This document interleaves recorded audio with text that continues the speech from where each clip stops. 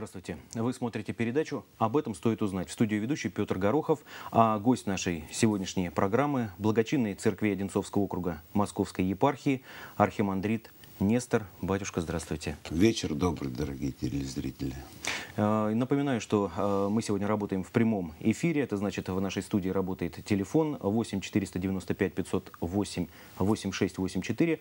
Вы можете его набрать и напрямую пообщаться с нашим сегодняшним гостем, задать ему вопросы, касающиеся духовной жизни в Одинцовском районе. Ну и, соответственно, именно этой теме, именно теме духовной жизни нашего Одинцовского района сегодня как обычно, и посвящена наша передача, гостем которой является архимандрит Нестор. Батюшка, ну и хотелось бы начать наше сегодняшнее общение с э, того собрания, которое состоялось э, в январе в Богоявленском храме поселка Жаворонки.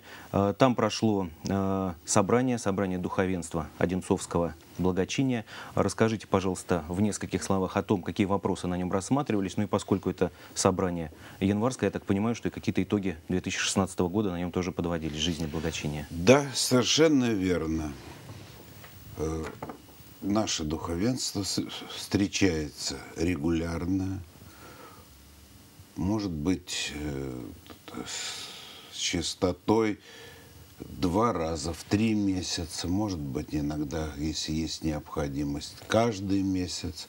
Но вот сейчас последняя встреча была в Жаворонках. Да, естественно, мы подводили итоги ушедшего года – отмечали, что было сделано, что выполнено, а где стоит усилить наше свидетельство от церкви. Строились планы на будущее. То есть некий аналог оперативного совещания да, советских совершенно властей. верно. Вот как пример того, что вот как была дана оценка вот прошлогодним трудам духовенства, можно привести э, строительство молодежного просветительского центра в селе Луцино. Это довольно далеко от города Одинцова, на берегу Москвы, рядом с Никольским храмом села Луцино все приходы нашего благочиния строят, вот как я сказал, если сложным языком называть, многофункциональный просветительский центр. А для того, чтобы было более понятно, особенно жителям нашего района более старшего поколения, это будет круглогодичный пионерский лагерь, куда дети с нашего района могут ездить, отдыхать. Строится он на 170 человек. Там и речка, и условия хорошие, отапливаемый большой дом. В общем, в этом году, в прошлом году мы вышли, завершили первый этаж. Вот наступившем году, надеемся, сможем осилить второй этаж, потом отделка, и думаю, что он будет принимать наших детей. Но но ведь когда говорим многофункционально, это не значит, э, что вот, мы много сюда вкладываем. Не только детей.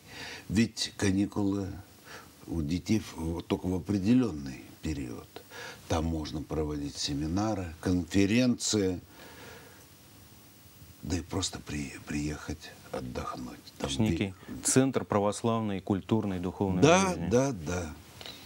Вот. Это мы подводили вот итоги прошлого года. Ставили задачи на этот год. В этом году у нас начинает функционировать социальная помощь служба социальной помощи нуждающимся Одинцовского района. Собирается фонд, э, собираются продукты, одежда. И все это будет обращающимся предоставляться. Первое. Второе. Еще уже теперь священноначалие перед нашим благочинием поставило задачу участвовать в программе восстановления порушенных святынь. Три года тому назад был создан фонд восстановления порушенных святынь. Этот фонд восстановил на сегодняшний день, кажется, шесть храмов в, нашем, в нашей области, но 250 храмов еще осталось разрушено. Слава Богу, в Одинцовском районе разрушенных храмов нет. И вот владыка митрополит принял решение каждому благочинию дать по одному или по два храма на восстановление. И нам поручено восстанавливать храм в русском районе деревня Мытники и еще один храм э, в Талдомском районе. Но там мы восстанавливаем совместно с Химкинским благочинием. Я думаю, это очень трудная задача. Ну, ведь эта задача, она связана не только с финансированием, но, возможно, и какая-то помощь добровольцев. Э, здесь вот э, принимается ли такая помощь, посильная помощь физическая, скажем так, мускульная? Мускульная помощь, да, принимается, но это только на первоначальном этапе вывоз мусора. Расчистка Расчистка территории. Да? Почему? Дело в том, что все эти храмы – это памятники архитектуры, и их реставрация и восстановлениями должны заниматься только организации, имеющие аккредитацию при Министерстве культуры. То есть, как раньше э, восстанавливали храмы так называемым хозяйственным методом, здесь уже не получится.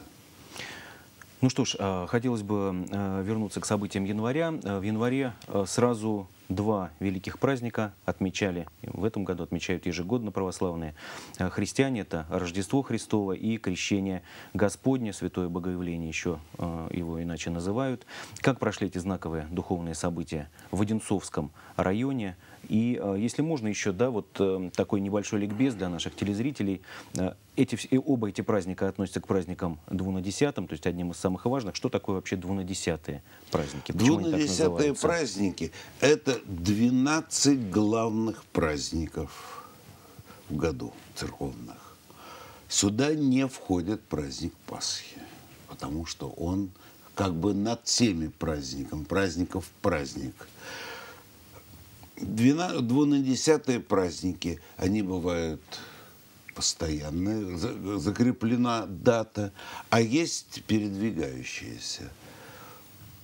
Передвигающиеся праздники – это праздники, связанные с Пасхой. Потому что э, праздник Пасхи определяется по лунному календарю, а праздники, э, предположим, Рождество или Крещение по обычному э, гражданскому, то есть солнечному календарю. Бочко, э, я прерву вас. У нас есть телефонный звонок mm-hmm. от телезрителя. Давайте мы пообщаемся да. и э, потом продолжим разговор mm-hmm. о праздниках. Здравствуйте. Представьте, пожалуйста, да. и задавайте ваш вопрос благочинному Добрый вечер, Екатерина. Да. Вечер добрый. Да. Отец Нестор, прошу вас прокомментировать. Вот в последнее время появилась такое мнение, что если каждое воскресенье бывать на литургии, исповедоваться, причащаться, проповедь прослушать, то можно как бы и не учиться образованию, не нужно, что этого вполне достаточно для самообразования именно. Вот, пожалуйста, прокомментируйте. А какого Речь образования? О, о светском или духовном образовании? О светском. светском. А, о светском. Да. Ну, что не учиться можно. Что так все приложится. Ну, как вот это? Спасибо, Екатерина, за вопрос. Ну, вы уже видите, я да. развеселился. Что тут можно ответить? Это говорят те, которым просто лень заниматься. Присутствие э, в храме на службе. Участие в службе совершенно не предполагает отказ от образования светского. Потому что в- церкви учат духовным вопросам. Церкви учат тому, как сделать так, чтобы дух ваш был здоров. А в школе, в институте учат конкретным предметам. Если вы ходите на службу и не изучаете арифметику, то, извините, в храме вас этому не научат, что семью шесть это у нас сколько? 42. 42, По-моему. правильно? Пусть да. телезрители поправят, Да, ошибаемся. вот. Но это просто смешно. Те, кто это говорят, люди, которые совершенно не понимают, что такое церковь и что такое христианство. Ну что ж, я говорю, что у нас до сих пор э, в светской жизни существует такая присказка «Три класса церковно-приходской школы», которая говорит о том, что образования недостаточно Да, много конечно. получил человек. Ну что ж, вернемся к праздникам э, Рождества и Крещения. Как они прошли? э, потому что с ними связано достаточно большое количество и э, разных э, примет, суеверий, скажем, крещенские купания и так далее. На них по-разному смотрят люди. Вот э, с точки зрения э, благочиния, все ли прошло нормально? Ну, я вам скажу такую вещь. С точки зрения благочиния, как проходили купания у благочиния этой точки зрения совершенно нет, поскольку это не касается церкви. Купание – это частное дело каждого человека. Тот, кто хочет купаться, по своей воле идет и купается. Но церковь не призывает никого и не говорит о том, что это надо. Что это необходимость есть некая. народная традиция, которая совершенно не связана с учением церкви. Это мы должны всегда понимать. Праздник Крещения, как он прошел, вы знаете, и, и Рождества. Вот я могу сказать, что по моим наблюдениям в этом году людей было значительно больше, чем в прошлом году. Вот в Георгиевском соборе, несмотря на крупные, э, на сильные морозы, которые были в ночь под Рождество, народ молился и в верхнем, и в нижнем храме. И туда мы провели трансляцию богослужения. Вот вы сказали правильно, что вот праздник крещения, богоявления. Вот прошли и попросили меня кратко их коснуться. А я вот сейчас хотел бы сказать, знаете, в древней церкви и крещение, и Рождество все было праздником Богоявления. Более того, они праздновались в один день. И только потом э, празднование разделилось. Почему? И то, и другое э, событие, в принципе, это богоявление. Первое пришествие в мир Спасителя, второго лица Святой Троицы, его воплощение, а явление его на земле, а крещение, когда Господь сошел в воды Иорданова и крестился, и тем самым как бы принял на себя грехи человеческие, раздался голос «Сей сын мой возлюбленный». Иоанн увидел, что дух в виде голубя сошел с него. В день крещения было явлено людям таинство Святой Троицы, что Бог троедин. Батюшка, у нас есть еще один телефонный звонок, чтобы телезрителя долго не держать на линии. Здравствуйте. Представьте, пожалуйста, и задавайте вопрос нашему сегодняшнему гостю. Добрый вечер. Еще одна Екатерина задает вам Вечер вопрос. отец добрый. Нестор. Вечер добрый. Добрый вечер. У меня моя сестра живет в Одессе, посещает украинский храм. Может ли она, когда приедет ко мне в гости, посещать наш Одинцовский Георгиевский собор и молиться? Не будет ли это противоречить устоям нашей церкви? Но вы не совсем четко определили, какой храм она посещает. На Украине, в Одессе.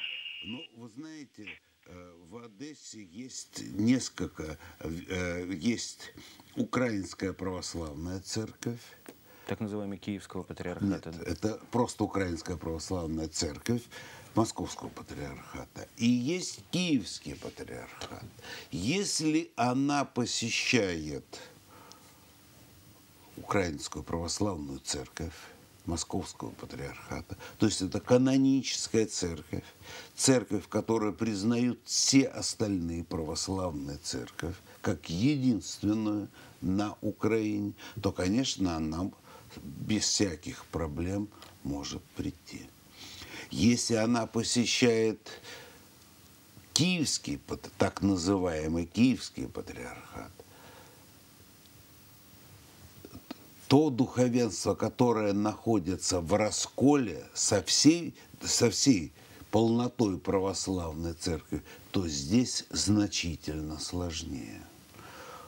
Можно вот понять, если бы она жила где-то, где нету других православных храмов, она вынуждена идти молиться туда. Это одно. А если она сознательно посещает храм раскольников, то она, когда при- приедет сюда и будет ходить в наш храм, она будет в таком случае лукавить сама себе. Потому что духовенство в Киевском патриархате, оно раскольничное, ра- раскольническое. Мы это видим по тем событиям, страшным Да. достаточно, которые иногда происходят на, на Украине.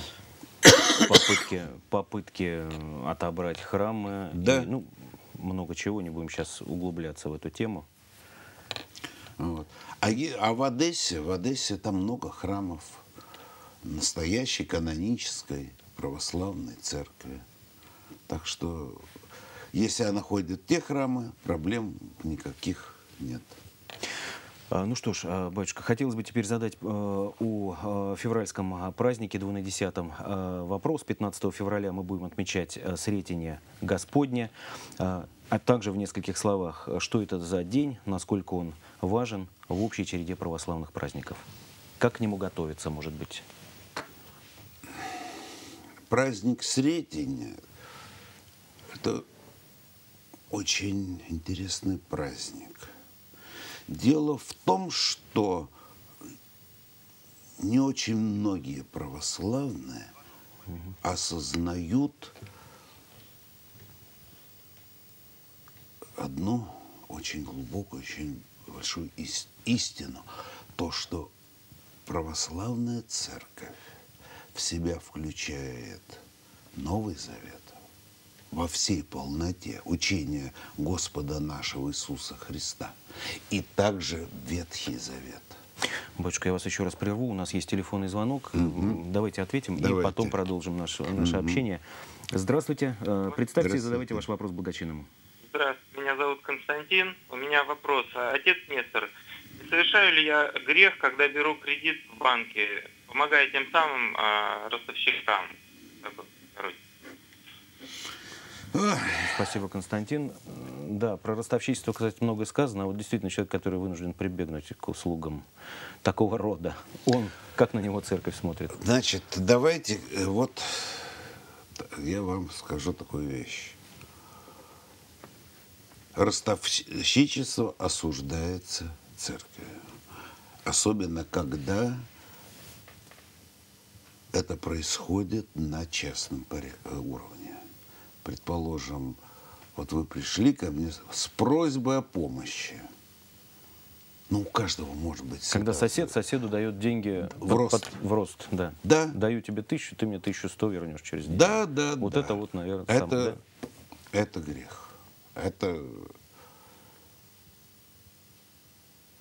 А что касается того, кто вынужден обратиться А к вот соседу насчет за этого помощью? здесь уже по-другому.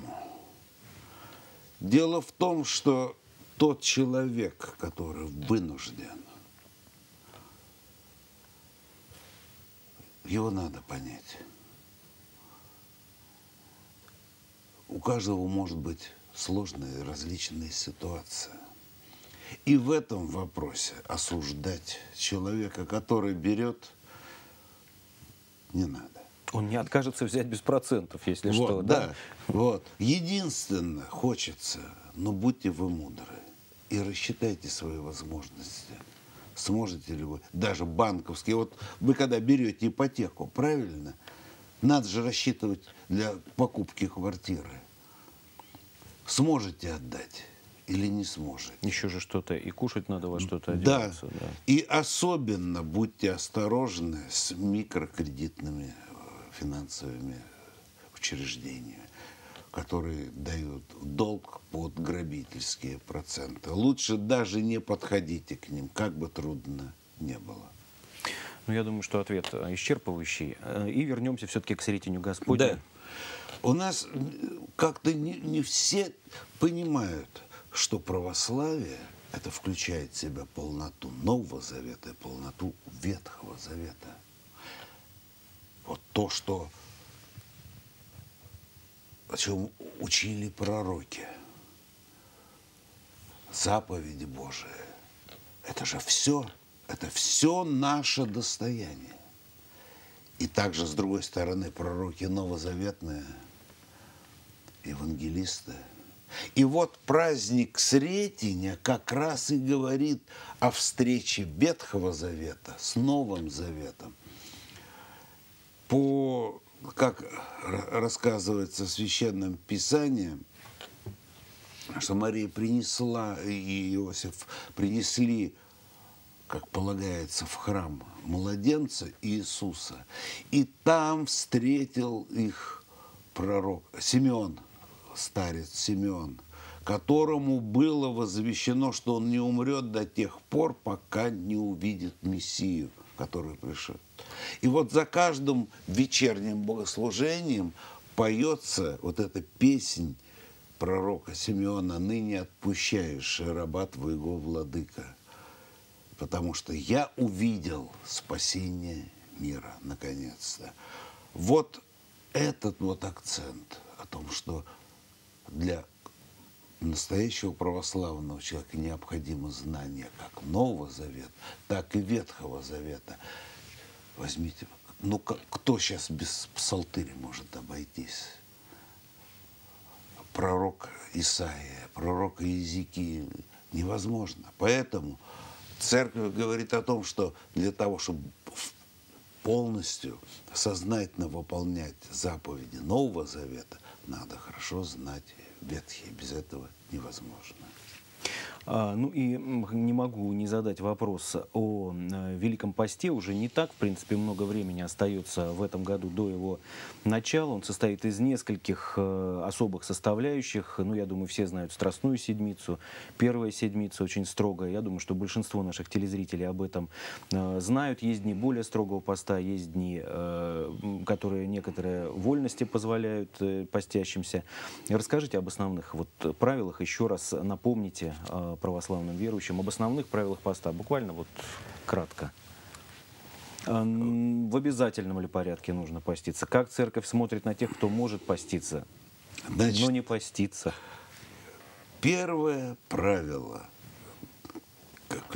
которое, главное правило, которое относится к любому посту. Пост – это не диета. Если вы сидите на капусте, чисто условно говоря, так, и ругаетесь с соседями, вот если вы думаете, что вы, Вы не поститесь, поститесь, да? конечно, вы не поститесь. Если вы си- э, сидите на картошке, но пр- продолжаете играть в компьютерные игры или смотреть развлекательные программы, вы тоже не поститесь. Пост – это тот период, когда человек пытается очиститься от всего грязного, от всего греховного, которое мешает ему жить, мешает общению с Богом. Вот поэтому вот мы сейчас вступили уже в подготовительный период Великого Поста. Скоро у нас будет через неделю Масленица. Между прочим, Масленица – это уже первая ступенька поста, когда люди отказываются от мяса, а переходят на масло, яйца, сыр. Почему и масленица? Вот. И те, кто думает, что масленица – это период тогда, когда можно залихватски бегать, э, праздновать, веселиться. Или наесться впрок перед постом. Сильно ошибается. Вот. Конечно, есть Великим постом определенные три недели, две недели строгого поста, первая и последняя, и крестопоклонная неделя, которая как раз в середине Великого поста. Как поститься? Я отсюда, вот, к вам со студии, никакого совета не дам. Потому что это надо иметь с каждым человеком конкретный человек, э, конкретный э, разговор. Если здоровый человек может действительно и должен ограничивать себя – это где-то испытание своей воли, в конце концов. От мяса, э, рыбы, особенно на первой седмице, то требовать поста, предположим, от больной женщины или беременной женщины, ну, это уже садизм. Беременные должны есть и больные все то, что им говорит врач. А вот что касается неких дней, когда послабление, то есть вот идет неделя, и, например, там четверг рыбный день, это вот есть тоже такое, вот тоже в двух, в двух, в двух словах, да? А, или, знаете, есть такая тоже а, присказка, а, путнику можно, да, путник от поста освобождается. Да, вот совершенно как вот верно. здесь вот еще а несколько я... исключений. Чтобы есть люди... исключения, есть определенные дни Великим постом, когда разрешается рыба, вот, но надо, я могу сказать такую вещь, что вот когда мы учились в семинарии, то священное начале, поскольку мы учащиеся, благословляло нам рыбу, кроме первого, с первой крестопоклонной и э, страстной седмицы, кроме среды и пятницы. И вот в семинарии мы ели рыбу, поскольку мы учимся. Так, еще там... Путнику а, можно. Вот. Зна... Следующее. Э, есть такое правило. Да, действительно. Не можно. Здесь несколько по-другому. Когда человек путешествует, и вот он пришел ну, где-то, предположим, где-то по пути поесть. Если есть постное блюдо, то, естественно, нельзя ссылаться на это правило, пользоваться ситуацией и есть скоромное. Но в основном это правило относится к другому. Вот мы бываем, попадаем в гости к людям, к другим. Бывает к людям светским, другой религии – и если мы пришли в гости, и человек от всего сердца приготовил нам для нас... Скоромное, скажем. Скоромное. Да? И мы скажем, нет, я это есть не буду. Во-первых, мы глубоко оскорбим человека, а во-вторых, здесь мы подыграем своему тщеславию. Вот какой я хороший, а? Что в пост тоже не допустил. Не да? допустил. Да.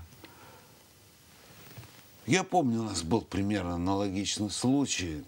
Мы когда были студентами, приехали к священнику в гости вот, с курсом. И он все, что было, у него собрал на стол. Несколько куриц. Чтобы мол- молодежь накормить Да, не просто, да? своих, с хозяйства своего. А один стал, говорит, знаете, а я мясо не ем. Дайте мне рыбу. Он расстроился. Это была новгородская деревня. Он говорит, а где ж я вам достану? Я ж старый ловить-то, ходить-то. Вы знаете, я до сих пор мне стыдно за этого человека. Ну, вообще, вот э, я сейчас подумал, не случайно, да, ведь в русском языке слово «пост», оно многозначное. Это и воздержание от пищи, это и несение некоего долга службы стоять на посту, да, это ведь не случайно такое вот, такое созвучие, казалось бы, разных слов. А, наверное, все равно на уровне сознания или подсознания Да. эти слова становятся синонимами. И вот э, своим вот телезрителям, для того, чтобы вам понять еще более ясно, что такое пост, вот только что мы говорили о значении Ветхого Завета, возьмите, раскройте книгу пророка Исаии, глава 56, 7, 58. Почитайте вы эти главы. Там великолепно сказано, что такое настоящий пост.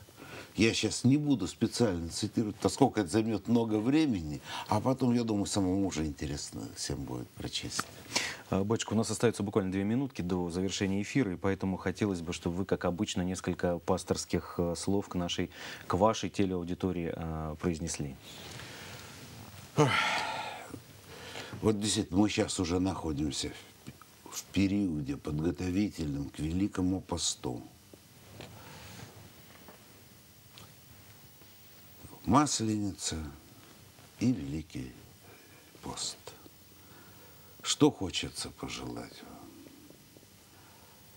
Главное, чтобы этот период у вас прошел в мире. Господь дает нам уникальную возможность. Я имею в виду Великий пост. Пролетает он удивительно быстро. Попробуйте, вот действительно попробуйте включиться полноценно в жизнь Великого поста. Почаще ходите в храм.